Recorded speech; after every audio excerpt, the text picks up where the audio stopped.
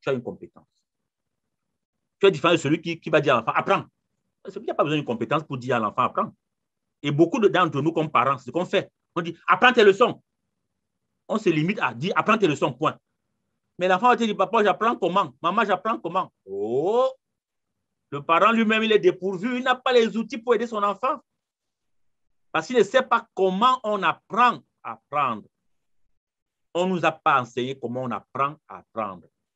Moi, je pense que ça, c'est des compétences qu'on devrait enseigner dans les universités, toutes sortes d'universités dans le monde, toutes sortes d'écoles dans le monde.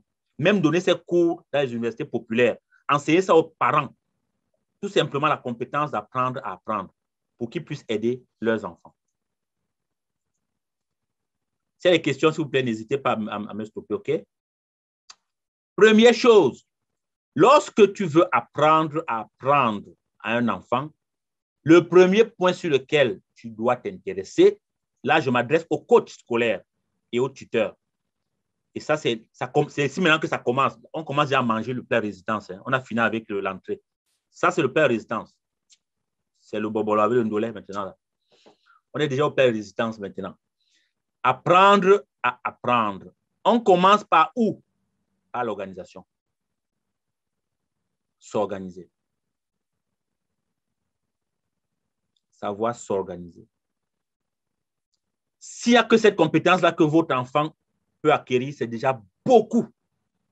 Parce que beaucoup d'entre nous, nous sommes des désordonnés. Moi, quand j'étais à l'école, j'étais le champion du désordre. J'étais désordonné, désorganisé. Vraiment, je, je, vraiment, je pense même que c'est même. Aïe, c'était un miracle. Hein? Je vous assure, moi, je suis un miraculé. Je vous dis ça. Je ne parle, pas de, je parle pas de moi, mais je vous dis, et je suis sûr qu'il y a beaucoup de jeunes comme ça là qui. Parce que rien n'était structuré dans ma vie. Rien n'était structuré. C'était le désordre. Alors qu'aujourd'hui, moi, j'enseigne à mes enfants à s'organiser. Premier élément dans l'organisation, c'est la gestion de son temps. La gestion de ton temps. L'enfant pose la question, quel temps, de quel temps disposes-tu pour les études par jour? Commence par cette question? Il y en a qui ne peuvent même pas te répondre. Un, un, c'est un combien là? Un. Il ne sait pas. J'ai appris plus tard. Et aujourd'hui, jusqu'au doctorat, je ne prends jamais.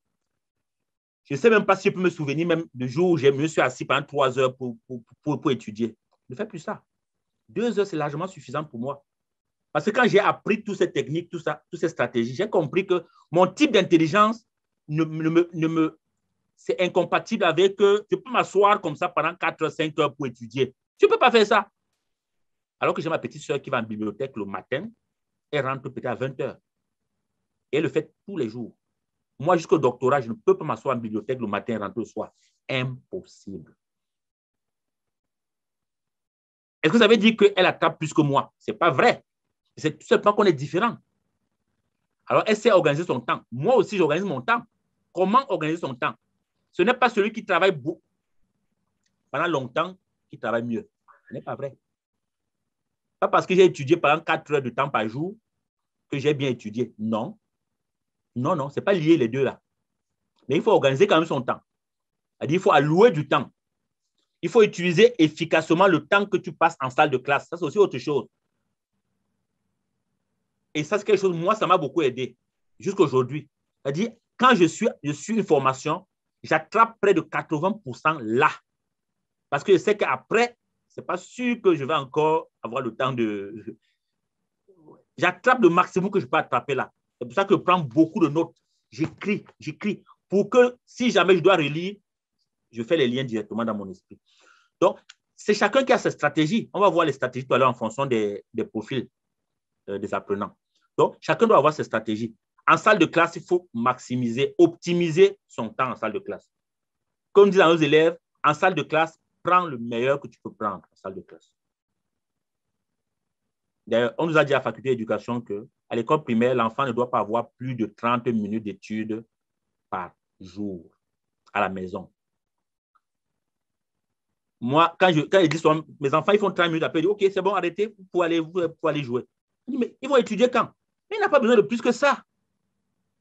Quand on, on soumet nos enfants à corvée. Je vois un enfant de coup, un qui fait deux heures, trois heures assis pour. Je dis, mais c'est quelle corvée ça? L'école va devenir pour lui une corvée et il va associer l'école à la souffrance, à la contrainte, à la pénitence. Alors que l'école ne devait pas être ça. On apprend mieux quand on est dans le plaisir. C'est une chose qu'il faut retenir. Notre cerveau apprend mieux quand il est dans le plaisir. Et il faut tout. C'est pour ça que même l'organisation de, la salle de classe, on met les fleurs, on met les choses gaies, on met les dessins au mur pour qu'on soit dans un cadre de plaisir. Regardez les universités aujourd'hui, euh, dans beaucoup de pays, c'est les lieux, c'est tellement beau.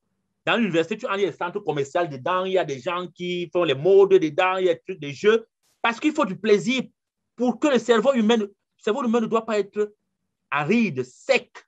Il va très vite se fatiguer. Il faut du plaisir. C'est aussi pour cela que c'est bien de, de, de, de, mettre les filles et les garçons en salle de classe. Parce que parfois, quand les filles voient les garçons, c'est aussi un peu de plaisir pour leurs yeux, vice-versa aussi. Hein. Ah ben, si vous ne croyez pas, c'est votre problème, moi je crois à ça. Euh, moi, je, pour, pour, pour quelqu'un qui a été au séminaire, quand on était seulement tous les garçons, là, quand on voyait les filles, les, novices religieuses qui venaient, on était contents, hein, juste parce qu'on voyait quelqu'un qui est différent de nous, tout simplement. Donc, c'est important d'associer le plaisir à, l'apprentissage. Quand on apprend sans plaisir, on n'apprend pas longtemps. Il y a aussi le respect des échéances. Il y a aussi le fait de savoir se fixer les objectifs. Ça, c'est les compétences que nous donnons à nos jeunes. Se fixer des objectifs personnels par jour, par semaine, par mois. Tu dis aux jeunes, quel est ton objectif pour ce mois? Il te dit, un. OK. Quel est ton objectif pour cette semaine? OK. Quel est ton objectif pour ce jour? OK. Aujourd'hui, je dois, je dois faire mon, devoir de maths. OK. Très bien. Et demain, un. Tu vois, tu vas l'accompagner jusqu'à ce qu'il se fixe son objectif. Si tu peux l'accompagner jusqu'à l'objectif mensuel, c'est déjà quelque chose de gros. C'est ça le rôle des tuteurs scolaires. Je vous dis, faire ça, c'est beaucoup plus pertinent que de, revenir répéter la même chose que le prof a dit en classe, ce qu'il n'avait pas déjà compris. Tu reprends la même chose. Oh, XP dit. Oh, oh, oh, tu reprends la même chose que le prof vient de dire. Waouh! Le cerveau de l'enfant, il va peut-être écouter, mais ça ne va pas changer grand-chose. Je ne dis pas qu'on ne doit pas faire ça, mais il faut commencer d'abord par l'aider à s'organiser. Une fois qu'il est bien organisé, vous allez voir que ça se fait beaucoup plus facilement. Donc, première chose, s'organiser. Organiser ses supports d'apprentissage. Ça aussi, c'est important. Le jeune apprend avec quel support? Est-ce qu'il prend les notes comme moi, par exemple? J'ai toujours les petits trucs comme ça où je prends les notes. Euh, il enregistre les choses. Est-ce qu'il a des livres? Est-ce qu'il il a, des, sites Internet Il faut qu'il organise tout ça. C'est important. Et aujourd'hui, on a la chance que le, savoir est disponible. Hein? il, il, il y a les livres, il, y a les sites Internet qui sont importants. Il y a aujourd'hui les, même des groupes là, le YouTube qui est, qui, est, intéressant. Il y a toutes sortes de choses. Mais il faut l'aider à organiser ça, à se rendre compte qu'on n'apprend pas seulement à partir d'un seul support. Même si l'enseignant t'a juste donné un seul support, mais tu apprends par divers supports. Et il faut justement que le jeune puisse convoquer tous ces supports. Il faut que ces supports soient des supports authentiques qui rentrent dans la, sa réalité vraiment. -dire la réalité du jeune aujourd'hui, c'est quoi? Internet existe. Si tu accompagnes un jeune et que tu ne l'envoies jamais sur Internet, c'est quoi ça? Dans la vraie vie, nous tous, nous sur Google, hein, nous sur Internet, mais pourquoi dans, quand à l'école, il, ne va pas sur Internet? Ça, c'est très important. Est-ce qu'il y a des questions? Ah, Je pense que le, contenu aujourd'hui est un contenu lourd, hein, mais on va, on, va, on va y arriver, on ne lâche pas. Deuxième stratégie, c'est-à-dire comment on apprend à apprendre. Je vais peut-être demander à quelqu'un qui, a un micro qui, qui, porte bien de nous lire ça pour que nous puissions écouter une autre voix. Est-ce qu'il il faut dire lever la main si quelqu'un veut lire. Je lever la main s'il y a un micro qui porte bien et qui n'a pas de bruit autour de lui. OK. Euh, Kelly, tu peux nous lire ça, s'il vous plaît. OK. Savoir accéder à l'information, l'exploiter utilement. Accéder aux informations. Effectuer des recherches à partir des sources diverses en identifier les sources primaires et secondaires, sélectionner et organiser l'information, c'est-à-dire identifier les points de vue, les partis pris, utiliser les ressources primaires et secondaires, faire le lien entre, les, entre différentes sources, citer des sources, c'est-à-dire faire des citations, des références aux sources, respecter le concept des droits de propriété intellectuelle. Merci beaucoup. Ça, c'est ce qu'on doit enseigner à nos jeunes. Apprendre à faire la recherche, à rechercher l'information. Comment on accède à l'information. Et en, utilisant diverses sources. C'est très important. Que les jeunes ne soient pas bloqués parce que, hey, le savoir n'est pas seulement dans le, dans le livre du professeur. Le professeur lui-même ne possède pas tout le savoir. Ce n'est même pas lui qui a créé ce savoir-là. Il est aussi un véhicule de ce savoir. Il faut que le jeune soit capable d'aller chercher le savoir en confrontant les sources. C'est ça l'apprenant du 21e siècle. Oui, c'est un qui comprend qu'il fait partie d'un monde global. Et que le savoir qui est développé à Yaoundé, à Abidjan, à Dakar euh, ou bien à Bamako n'est pas un savoir cloisonné. Il faut savoir l'exploiter. Et ça, c'est à partir de l'école primaire. Hein? Ça, c'est à partir, ce que vous dites là, c'est à partir de l'école primaire. Et c'est même plus important encore l'école primaire. La méthodologie doit être enseignée à partir des écoles primaires. C'est là-bas que c'est pertinent. Moi, j'ai fait mon premier cours de méthodologie à l'université. Je n'avais jamais fait un cours de méthodologie quand j'étais au lycée. Peut-être que vous en avez fait, moi, je n'ai jamais fait. Et même quand je l'ai fait à l'université, c'était quand je faisais un mémoire. C'est-à-dire, ceux qui n'ont pas fait de mémoire à l'université n'ont même jamais fait un cours de méthodologie. C'est-à-dire, voilà comment quelqu'un, comment il va produire un savoir. Comment il va, comment critiquer un savoir. Comment il ne sait même pas comment produire un savoir. Donc, en fait, c'est juste un gars qui est là pour, il apprend et puis il répète, il répète, il répète, il répète. Donc, c'est extrêmement important de commencer à enseigner ça à nos enfants. Moi, j'enseigne à l'école primaire et j'enseigne la méthodologie de la recherche aux enfants à l'école primaire. Première année, c'est la CIL, CIL, CP, quoi matin 1. Ici au Canada, c'est comme ça. Et il faut les exposer devant vous. PowerPoint. À la CIL, au couple partout, au commentaire 1, ils le font mieux que moi. Ils connaissent mieux les, les, les différents gabarits des, des, des PowerPoint. Ils le font mieux que moi parce qu'ils sont nés avec ça. Moi, je force seulement.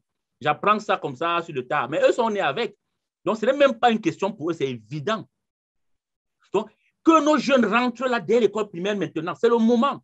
Parce que sinon, on va manquer le train une fois de plus. Si nos jeunes, il ne faut pas qu'ils soient en retard par rapport à leurs congénères des autres pays, d'autres continents, comme nous, on l'a été par rapport à nos congénères des autres pays, comme nos parents l'ont été par rapport à leurs congénères des autres pays.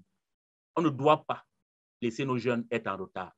C'est pour ça qu'on doit commencer par ce savoir dès le jeune âge. Merci beaucoup. Alors, qui, veut, qui veut nous lire la suite? Le 3, la collaboration? Oui, Mariama? Oui. Le troisième point, apprendre à collaborer. Premièrement, travailler en groupe, déléguer et prendre des responsabilités s'adapter à des rôles, résoudre des conflits de groupe, savoir travailler en équipe. Deuxièmement, accepter les autres, analyser les idées d'autrui, respecter les points de vue d'autrui, utiliser les idées en faisant preuve d'esprit critique. Et enfin, les défis personnels, respecter les différences culturelles Définir les objectifs en concertation avec le tuteur et ou le coach scolaire. Oui, c'est ça. Ce que nous voulons accompagner nos jeunes à être capables de faire. Donc, ici, c'est vraiment être capable de travailler en équipe. Parce que dans la vraie vie, on travaille en équipe. Même si tu dis que je vais travailler à mon propre compte, ton propre compte, c'est que tu sois le boss, mais tu vas tout travailler avec des collaborateurs. On travaille en équipe, on ne vit pas en vase clos. il faut qu'on apprenne à travailler en équipe à l'école.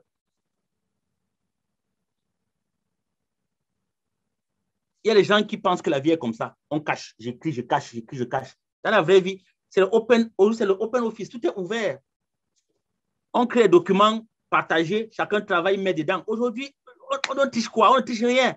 Il n'y a rien à tricher. Au contraire, on encourage même que l'information circule. L'information devient encore plus importante lorsqu'elle circule. Donc, c'est être capable de travailler avec les autres, être capable de donner son point de vue, être capable de, de recevoir le point de vue des autres, être capable de critiquer, d'accepter d'être critiqué également. OK? Ça, c'est très important. Le quatrième point, je ne sais pas si Sœur Sophie peut nous lire ça. Ça va certainement nous faire du bien, nous tous. Le quatrième point, réfléchir. Être ouvert à la critique constructive. Réfléchir sur les domaines de, sur les domaines de sa vie, de sa vie qui posent problème. Faire son auto-évaluation en tenant à jour ses dossiers d'apprentissage mener une réflexion à différents stades du processus d'apprentissage avec son coach. Voilà, ce qu'on attend, ce que nous attendons de nos jeunes. Coach, est-ce que on peut, vous pouvez nous dire les, les différents dossiers d'apprentissage que nous devons aider le jeune à avoir? Oui. Euh, déjà, l'aider à, à, bâtir son portfolio. On va, on va le faire euh, quand je vous ai dit, je vous ai dit qu'on va avoir plusieurs séries de formations on va vous montrer comment vous pouvez aider le jeune à faire son portfolio, son, porte, euh, son dossier d'apprentissage. Okay? C'est-à-dire, dans chaque matière, il doit pouvoir dire, voici ce que j'ai appris dans cette matière. Là, le jeune, il va laisser les cahiers de côté. Quand il va passer en classe supérieure, il sait, j'ai appris ça. Parce que dans chaque chose qu'on apprend, il faut qu'on soit capable de dire en nos propres mots ce qu'on a appris et en quoi c'est important pour nous. C'est ça le dossier d'apprentissage. Voilà ce que j'ai appris en mathématiques. Voilà en quoi c'est important pour moi. Voilà ce que j'ai appris en, sciences. Voilà en quoi c'est important pour moi. Et ce jeune, à l'examen, il sera à l'aise parce que de toute façon, il a vu ce qui est important pour lui et ce qu'il a appris. Et s'il y a des affaires qu'il n'a pas relevées, qui sont vraiment fondamentales, le tuteur pourra attirer ton attention là-dessus et lui dire, ben, et, et, cet aspect, est-ce que tu as également euh, appris ça? Il te dit, oui. Est-ce que tu ne penses pas que ça peut être important pour toi? Peut-être qu'il n'a pas saisi l'importance. C'est notre rôle aussi de guide, de la mener à réaliser que ça, c'est important et aller apprendre ça pour éviter ce qu'on a dit au début, l'illusion et les erreurs. Donc, le dossier apprentissage te permet vraiment de consolider ce qu'on appelle l'agrégation des connaissances, mais de consolider tes apprentissages en avançant. À chaque, apprentissage, tu laisses des traces. C'est les traces d'apprentissage qui sont dans le dossier apprentissage. Mais, mais je, euh, je sais pas moi, peut-être moi ou bien quelqu'un d'autre, la personne qui va travailler avec vous, il va vous montrer comment on fait un dossier d'apprentissage, un portfolio, comme on appelle en pédagogie, un dossier d'apprentissage. Et ça, on va pouvoir montrer à nos jeunes comment ils peuvent faire leur propre portfolio de chaque matière. Comme ça, toi, tu regardes seulement son portfolio. Rien que son portfolio peut te dire ce qu'il a appris et tu peux, le, questionner en fonction de son portfolio dans son dossier d'apprentissage. C'est un très bon point. Mais je ne sais pas si elle a répondu, Sophie. Merci beaucoup. Est-ce quelqu'un d'autre qui veut nous lire la suite là? Quel est le volontaire qui veut, se, qui veut nous lire la suite? Oui, est-ce que tu peux lire? Oui, allez-y, oui. Patience. Oui, allez, va patience, vas-y. OK. Euh, communiquer, cinq communiquer. Utiliser les connaissances, la compréhension et les compétences acquises dans les différentes matières pour créer des solutions et dans des situations nouvelles. Mener des recherches dans différents contextes. Modifier le contexte d'une recherche pour effective. Développer des stratégies de lecture utiliser divers moyens de communication, développer des compétences de présentation de connaissances sur divers. Très bien, patient. Merci beaucoup. Merci beaucoup. Alors, il y, a, un micro qui est allumé là.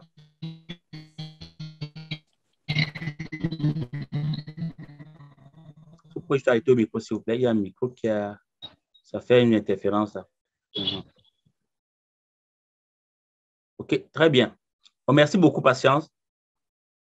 Ce qui, est, vraiment, vraiment, vraiment important ici, comme vous pouvez vous-même le voir, c'est d'aider le jeune, d'amener le jeune à pouvoir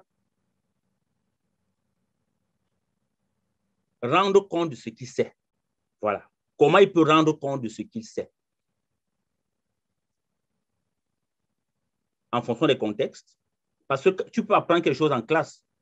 Pour que ça ne reste pas seulement une connaissance livresque ou académique, est-ce qu'il peut l'appliquer dans sa vraie vie? Est-ce qu'en changeant de contexte, il peut appliquer ce qu'il a appris? Si ce que j'ai appris à l'école ne, ne, me sert qu'à l'école et que je n'arrive pas à voir en quoi ça va me servir en dehors de l'école, il faut questionner cette connaissance-là. Est-ce que c'est une connaissance pertinente? Quelle qu'elle soit, hein, quelle qu'elle soit, toutes sortes de connaissances, toutes sortes de connaissances. Donc, c'est extrêmement important que nous puissions challenger. C'est ça le rôle du coach et du tuteur, de challenger le jeune pour l'amener à, questionner lui-même euh, l'utilité des connaissances qu'il qu développe. On parle aussi des stratégies de lecture. Vous savez, la lecture est fondamentale parce qu'on apprend, c'est la porte d'entrée la connaissance en nous. Les yeux, pour la plupart d'entre nous. La lecture. Est-ce qu'on sait lire? Est-ce qu'on sait lire? On dit souvent, oh, les gens ne lisent pas. Mais est-ce que vous avez appris à lire aux gens? Apprendre à lire, ce n'est pas A, B, C, D. Là, c'est l'alphabet français. Hein? Ce n'est pas apprendre à lire. Les stratégies de lecture, aujourd'hui, à l'école, on enseigne ça aux enfants les stratégies de lecture. Comment on lit? Parce que si on n'apprend pas à lire, on ne peut pas lire. Ou alors, on va lire, mais il y a des gens, dès qu'ils commencent à lire, cinq minutes après, ouf, il est déjà chomorphé. C'est parti depuis. Le sommeil l'a pris. Si tu veux qu'il dorme, donne-lui un livre. Ça, c'est certain, il va dormir. Il faut, qu'on enseigne les stratégies de lecture à nos jeunes. Mais il faut que nous-mêmes, on apprenne ces stratégies de lecture. Donc, nous allons travailler là-dessus. Je ai dit qu'il y aura des formations, des formations et des formations pour ceux qui vont euh, euh, continuer avec nous. Par exemple, ça, c'est une formation qui est très importante, les stratégies de lecture. dès que quelqu'un a des bonnes stratégies de lecture, il a la porte d'entrée à la connaissance. Parce que la connaissance se trouve dans les livres. Hein. Elles se trouvent dans les livres. Elles sont là. Elles sont accessibles, ces connaissances. Et puis, il faut aussi utiliser divers moyens de communication. Par exemple, comment on peut utiliser les réseaux sociaux aujourd'hui pour euh, approfondir? Je prends un exemple. Et, moi, je vais encourager tous nos tuteurs, chacun à avoir un site Internet personnel. Donc, chacun d'entre vous avoir son, son site web personnel. Un site web pédagogique, hein, c'est facile à faire, c'est gratuit même. Demain, après demain, poser la question à Alice. Notez ça. Elle est l'experte. Elle va vous dire comment vous pouvez utiliser les technologies pour aujourd'hui aller rejoindre le jeune du 21e siècle. On ne rejoint plus jeune du 21e siècle comme moi, comme vous et moi, on a été formés. Non. Fais un site, un blog, une page Facebook, un YouTube qui est ludique, tu vas le rejoindre là-dedans. Ou Instagram, ou bien c'est là-bas que tu vas le rejoindre. Il faut être capable. On doit. On, ne peut plus fonctionner au 21e siècle comme si on au 20e siècle, la gagne. Non, non, non, non, non, non. Donc, chacun d'entre vous va avoir un site Internet. Moi, c'est le challenge que je vous fais. Et avoir un site ce n'est pas difficile. Hein? Alice va vous montrer comment vous pouvez, et elle va vous donner les adresses, comment vous pouvez le faire. Et elle va même faire partie des gens qui vont vous coacher, même à monter votre site Internet. Elle a déjà fait avec des consultants qui sont formés au CFCI. À la fin de leur formation de consultant, chacun avait déjà monté son site Internet. Parce que c'est un outil aujourd'hui de communication incontournable. Comment tu fais pour rejoindre ton jeune? Avec site Internet, tu peux arranger toutes tes affaires et puis le jeune a le, code d'accès, il sait comment. De toute façon, ce n'est qu'une idée que je vous donne. Il y a d'autres choses que vous pouvez également faire. Cinquième stratégie, pensez. Tout à l'heure, euh, il y a, quelqu'un qui avait la main levée. Est-ce que, est que tu es toujours intéressé? Euh, C'était Dikoumé?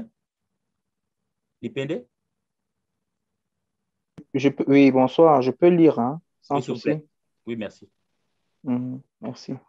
Alors, 6 penser, émettre des idées, euh, remue-ménage, euh, remue-ménage, c'est-à-dire réfléchir, planifier élaborer un scénario, définir un plan, rechercher, c'est-à-dire s'interroger sur des informations, utiliser le cycle de recherche, appliquer les connaissances et les concepts, progression logique de l'argumentation, identifier des problèmes, raisonnement déductif, évaluer les solutions à apporter aux problèmes, créer des solutions novatrices, étudier un problème selon différentes perspectives. Merci beaucoup. Merci. Donc, voilà les stratégies pour penser. Chaque stratégie va faire l'objet d'un accompagnement avec ces jeunes. Comment aider le jeune à penser, à penser. Penser par lui-même. On cesse d'être de l'ancienne école où on ne pensait pas. On répétait seulement ce que les gens nous ont dit. On ne pensait pas par nous-mêmes. Non, non, non, non, on répète. Aujourd'hui, c'est fini là. Il faut que le jeune soit capable de penser par lui-même.